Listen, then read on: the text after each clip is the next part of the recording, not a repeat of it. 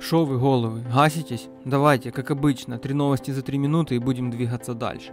Компания Xiaomi представила четвероногого робота CyberDog за 1540 долларов.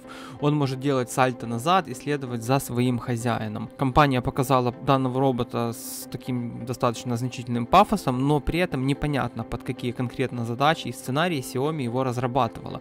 Э, В пресс-релизе производитель подчеркнул, что у проекта открытый исходный код, и компания дает возможность новым владельцам программировать его на свое усмотрение.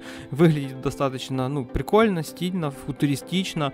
Что будут э, делать с ними умельцы в виде кожаных мешков, для меня на самом деле даже страшно представить. Ну и прежде чем двигаться дальше, попрошу вас подписаться на канал, потому что вы слушаете на мышу, как правило, а это не очень красиво. Поэтому давайте жмякните подписку, колокольчик, можете даже лайк и комментарий написать, и будет вообще отлично. Ну и а тем временем компания Nvidia анонсировала нам графический ускоритель RTX A2000 для компактных рабочих станций.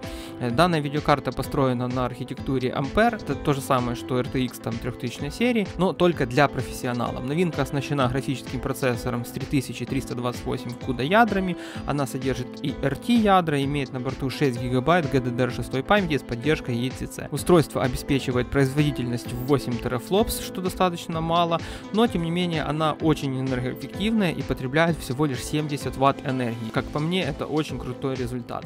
Новый графический ускоритель поступит в продажу уже этой осени, и, ну и будут ставиться в рабочие станции там Asus, Dell, HP, Lenovo и так далее. Напоследок оставил такую, как я думал, шутейскую новость, но я думаю, что если бы я жил в Туркменистане, то она была бы для меня не смешной, потому как власти Туркменистана заставляют интернет-пользователей отрекаться от VPN на Коране.